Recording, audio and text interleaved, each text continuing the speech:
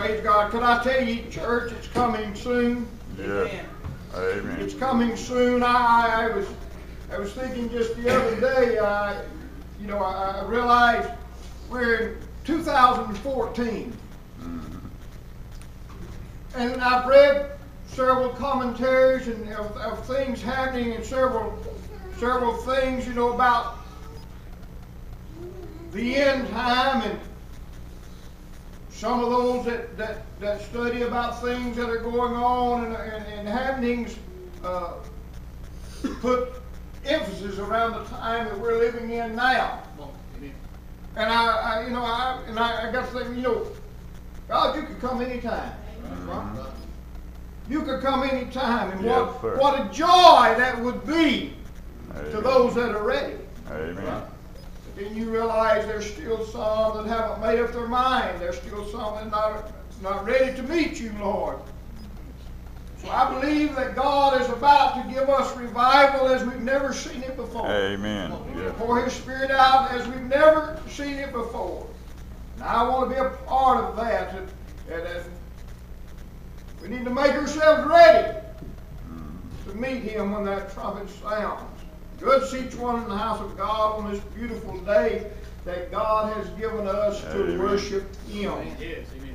John's Gospel, the first chapter, beginning at the 40th verse. One of the two which heard John speak and followed him was Andrew, Simon Peter's brother. He first findeth his own brother Simon and saith unto him, We have found the Messiah, which is being interpreted to Christ. And he brought him to Jesus. And when Jesus beheld him, he said, Thou art Simon, the son of Jonah. Thou shalt be called Cephas, which is by interpretation a stone. The day following, Jesus would go forth into Galilee and findeth Philip, and saith unto him, Follow me. And now Philip was of, of Bethsaida, the city of Andrew and Peter. And Philip findeth Nathanael, saith unto him, We found him of whom Moses in the law and the prophets did write, Jesus of Nazareth, the son of Joseph. And Nathanael said unto him, Can there any good thing come out of Nazareth? Philip saith unto him, Come and see. Jesus saw Nathanael coming to him and saith unto him, Behold, an Israelite indeed, in whom is no guile. And Nathanael saith unto him, Which knowest thou me? Jesus answered and said unto him, Before thou, that Philip called thee, when thou was under the fig tree, I saw thee. Nathanael answered and said unto him, Rabbi, thou art the Son of God, thou art the King of Israel. Jesus answered and said unto him, Because I said unto thee, I saw thee under the fig tree, believest thou? Thou shalt see greater things than these. Praise God. Let's praise Him one more time. God, we love you. God, we praise you. We thank you for your word today. Anoint us and use us for thy glory. And on hearts and ears to receive your word. We'll praise you in Jesus' name. Praise God. Praise God. And you may be seated. Very familiar scriptures that we're reading here in John, the fir- uh, first chapter, when Jesus began to teach and after that he had been to John and had come to John and John when John the Baptist had saw him told him and had spoken the words behold the Lamb of God which taketh away the sin of the world. And and uh, some began to follow after Jesus at that time and they began to believe him. And Bible said that one of the two which heard John speak or heard had heard John say behold the Lamb of God and followed him was Andrew, Simon's Peter's brother. And then, then uh, he first finds his own brother Simon, and, and he told him, said, We found the Messiah, which is interpreted to Christ. And, and he brought him to Jesus, and Jesus uh, changed his name to Cephas, a stone. And the day following, when, when Jesus would go forth in Galilee, he finds Philip. He tells Philip, Follow me. Well, Philip was of Bethsaida, the city of Andrew and David. Philip finds Nathanael. Now, I want you to understand, you see how this is working? One finds Jesus and he goes tell another, you know, look, I, I found the Christ. I found the Christ. Uh, you know, and, and he findeth Philip and saith unto him, We found uh, uh, him whom Moses wrote about in the law. We found Jesus of Nazareth. And Nathaniel first question said, Can there any good thing come out of uh, Nazareth? And Philip answered, and he said, Well, come and see. Come and see. And that, that's the, the title of my message this morning, simply come and see. Amen. Come and see. He went on. He went on to tell him after after Nathaniel came and saw Jesus, and Jesus said, "I saw you when you was under uh, under the fig tree." And uh, Nathaniel thought he was excited about that and thought that was a great thing. And he said, "Well, if you believe, you'll see greater things than these." So simply, uh, we have to come and see to see greater things. Amen. But you understand what I'm saying? We have to come and see to see greater things. We need, in other words, we need to get excited about living for Jesus. You know, sometimes we get so complacent. Bless him, Lord. We, we, we get so routine about our serving God that somewhere along the line, if we're not careful, we lose our excitement. Amen. We, we forget to tell people, come and see what God has done in my life, or come and see this man that I found, or come and see this Jesus. Know, we, we could uh, be a little more excited if, if my witness is dull or boring, then it's not going to touch too many lives. But if I can get excited about serving Jesus, if I can get excited about, they said, come, we, we, we found him, we found the Christ. You know, it should be that way not only uh, to the new converts, but it also should still be that way to the old converts to get excited enough to tell somebody, why don't you come see this man that I found? Right. Come on and see, I found the Christ to get that excited. Come and see. We'll never know about the things of Jesus until we come and see for ourselves. We can speculate on it and we can go by what others tell us, but we need to come and see for ourselves uh, about this man called Jesus. Amen. Praise God. You begin to look in the Word of God again and, and go to familiar scriptures in John the fourth chapter, and uh, starting at the tenth verse, this is where Jesus comes to the woman at the well. Jesus answered and, and said unto her, If you knew the gift of God, and who it is that says to thee, Give me to drink, thou would have asked of him, and he would have given you living water. Amen.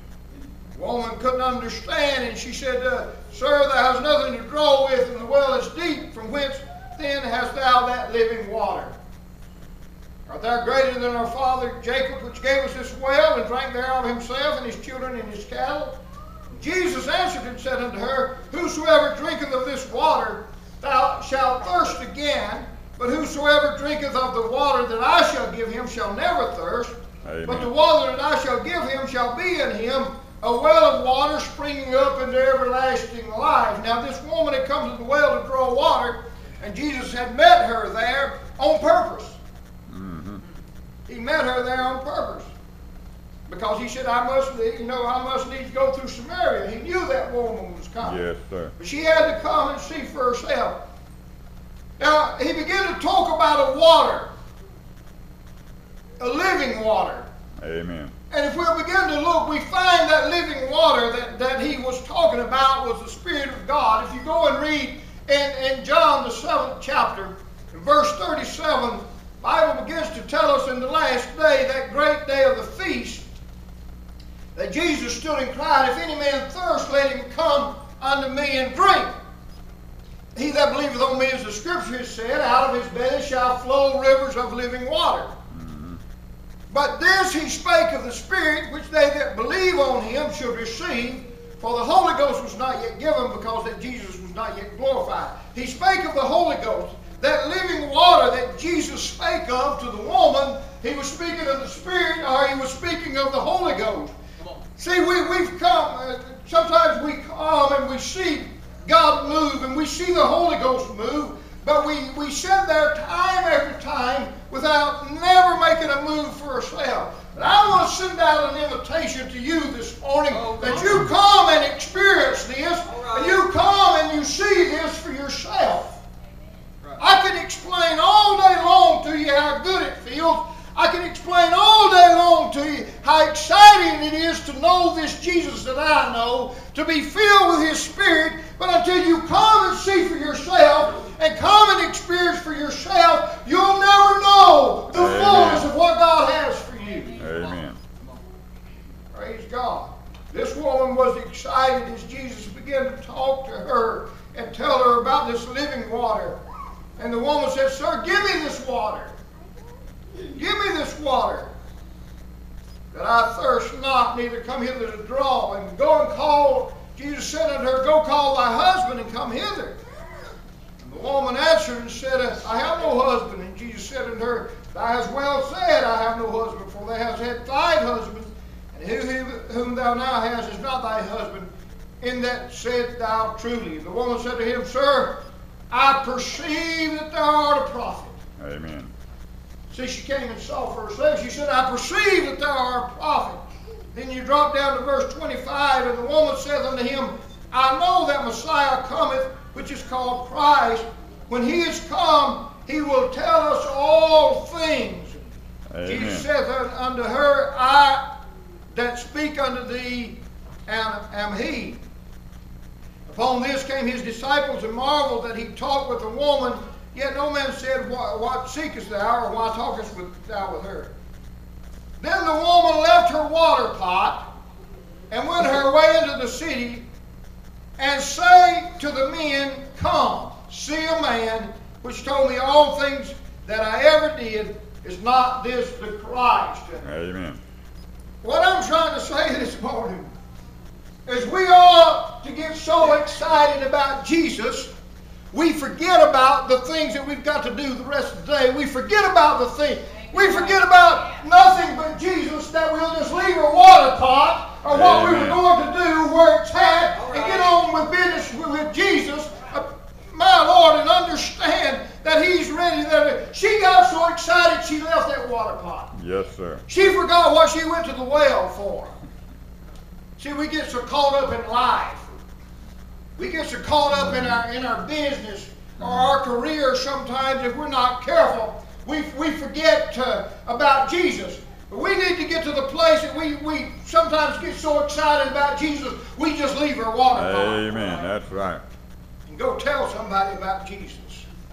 Go Yes. tell somebody. She said she left her water pot, went went into the city, and began to tell them about Jesus. Then they went out of the city and came to him. They began to come. They heard what she was saying. hmm They began to come and see for themselves. Can I? Can I? Can we? Let me put it that way. Generate enough excitement about what God is doing for us in our lives, what God is doing for us here at the church. Can we get excited enough about it that we, we want to run out and tell somebody, why don't you come see for yourself what God is doing in this place? Amen. Yes, sir.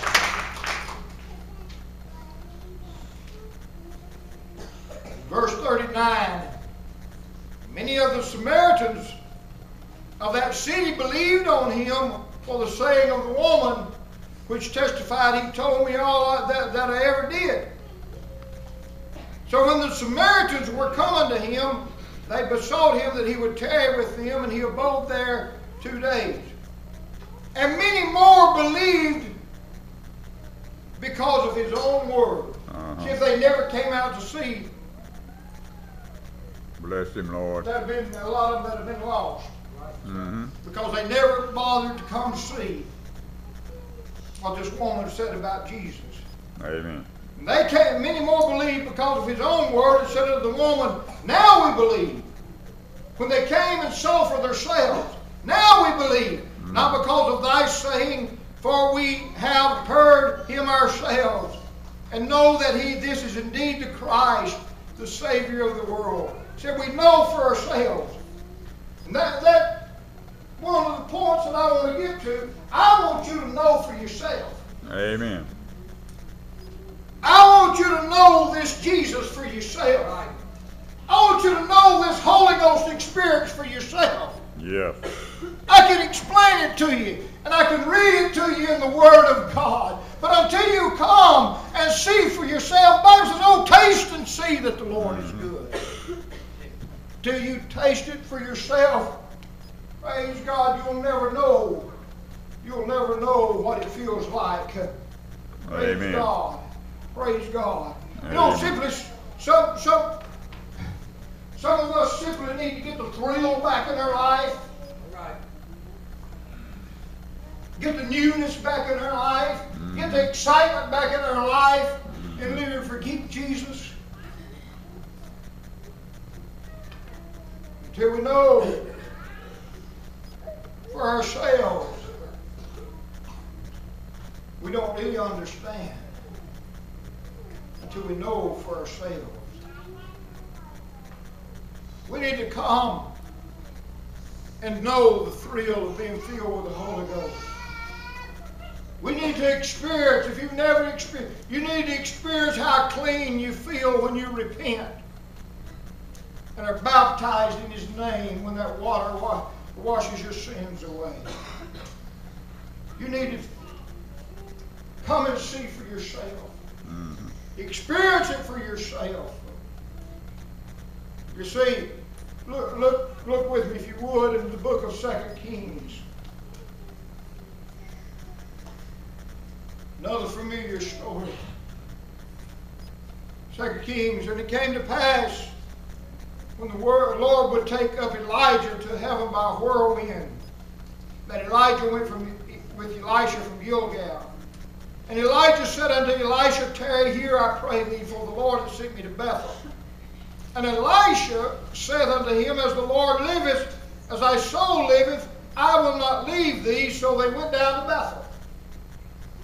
Now Elijah was about to be taken away. Sons of prophets, in verse 3, the sons of the prophets that were at Bethel came forth to Elijah and said unto him, Knowest thou that the Lord will take away thy master from thy head today? And he said, Yeah, I know it, but hold your peace. Elijah said unto him, to Elisha, Tarry here.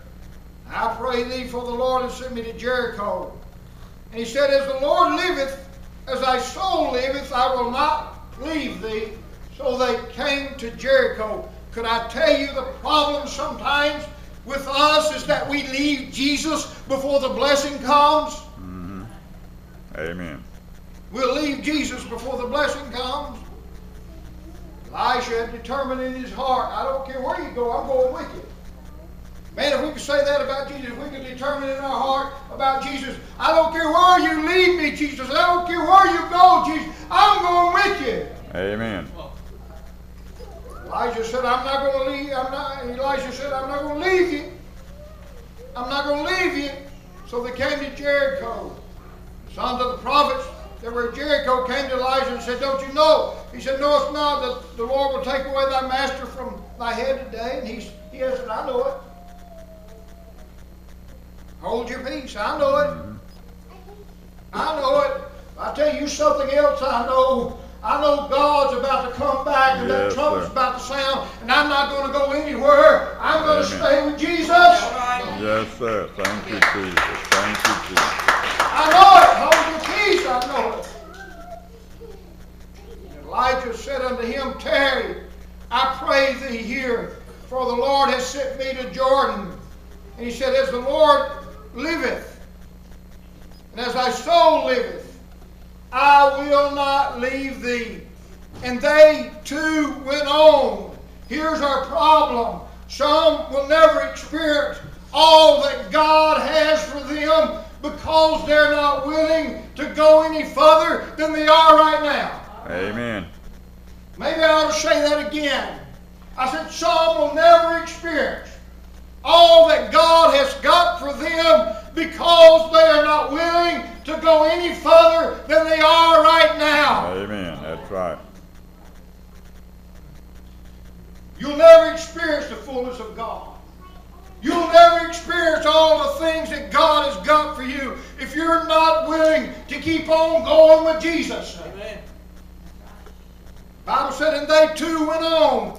He already told him, he said, you go, yeah, but I'm going with you. I'm not going to leave you. I'm going where you're going. Right. Listen, if we want, if we want to experience more of God, if we want to experience all the things that this Word has for us and God has for us, we're going to have to get up and go on from where we're at right now. And that Amen. includes me, to you, to you, to you, to you, Amen. to every one of us sitting in here. If we're going to draw closer to God, we've got to go on further than we've been already. Yes, thank you, Jesus. Thank you, Jesus. Some people are just not willing to do that. You know what they ask? Well, what's it going to cost me? What will I have to do? How inconvenient will it be? Mm-hmm. What will it change in my life if I go on with Jesus?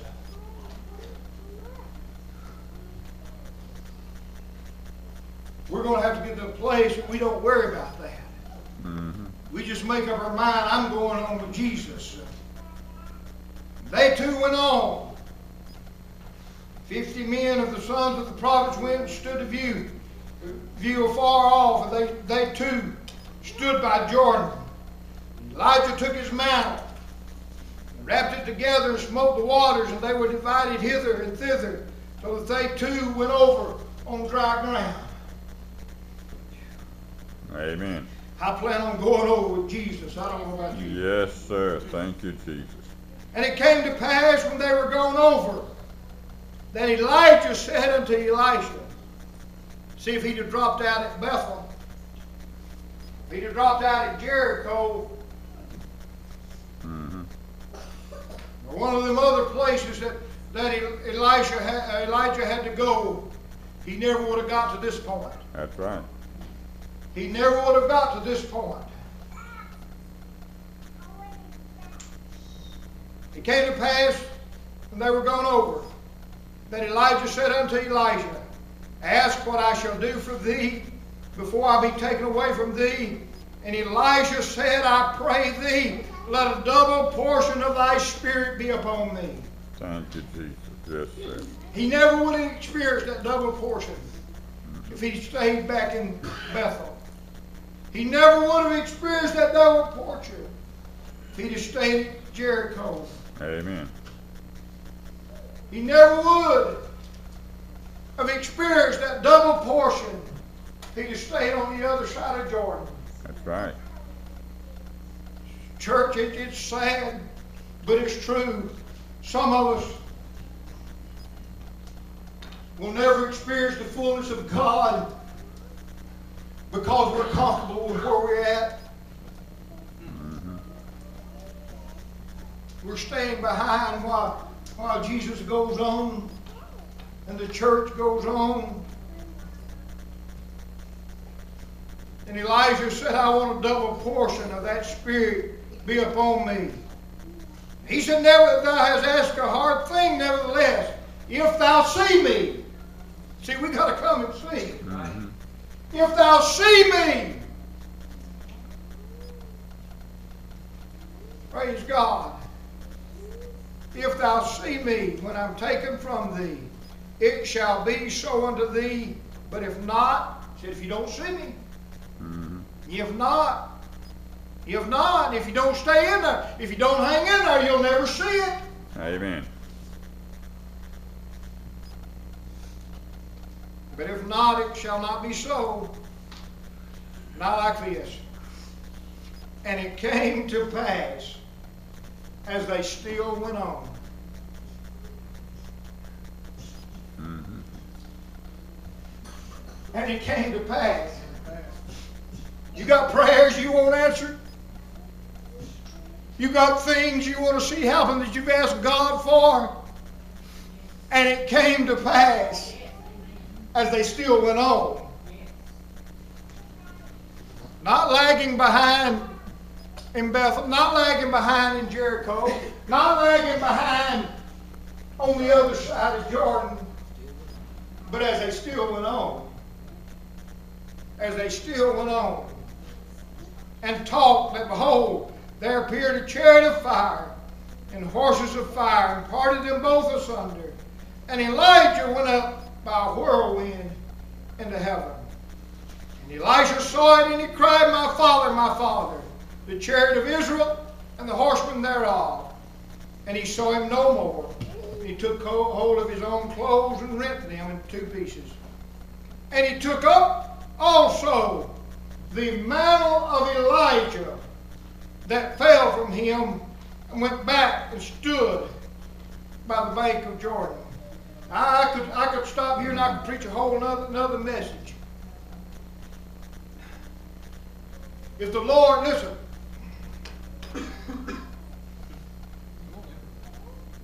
if the Lord tarries long enough, one of these days I'm not going to be around. That's right. Some, some of you out there, some of you younger ones maybe, have got to be willing to step up because there's mantles of anointing mm-hmm. that somebody needs to carry on. Amen. Come amen. Yes, sir. Thank you, Jesus. He took up the mantle of Elijah. See, see what happened when, when, when Elijah walked by E- Elisha plowing in the field, he took that mantle and he draped it across Elisha's shoulder. He felt something. He knew something was there. That's when he began following after Elijah. He said, I want a double portion of that spirit that is upon you. Praise God. Somebody, somebody's got to carry on. Somebody's got to take that mantle of anointing and carry on the gospel of Jesus. He took up also the mantle of Elijah that fell from him, went back and stood by the bank Jordan. And he took the mantle of Elijah that fell from him and smote the waters. And said, Where is the Lord God of Elijah? When he also had smitten the waters, they parted hither and thither, and Elisha went over. And when the sons of the prophets which were to view at Jericho saw him, they said, The spirit of Elijah doth rest on Elisha. And they came to meet him and bowed themselves to the ground before him. They said, The spirit of Elijah doth rest upon Elijah. Mm-hmm. Church, I believe if we'll hang in there. Nathaniel thought it was an exciting thing that Jesus had saw him under the fig tree. Jesus said, if you'll believe, you'll see greater things than these. Amen. Church, I believe, if we'll just believe, we'll see greater things than these. Yes. Praise God. We need to stay with Jesus and stick with Jesus until He sees us through whatever it is we're going through, and then stay with Him after that. Mm-hmm. Praise God. I, I know somebody has to carry on the work, those mantles of anointing that are flowing down. And I'll just tell you right now, I plan on being here till I hear that trumpet sound. Amen. Praise God. I plan on being here till I hear that trumpet sound. One of these days I'm going to leave here, and the church is going to leave here. Amen. Don't you lag behind to the place that when that trumpet sounds, you're left behind. Amen. You got to go on with Jesus. That's right. You got to go on with Jesus. No matter what the cost, no matter what decisions you'll have to make, no matter what things you'll have to change in your life, you need to go on with Jesus. Mm-hmm. All the way you're going to experience everything that God has got for you is to come and see for yourself. Mm-hmm. Come and see for yourself. Let's all stand.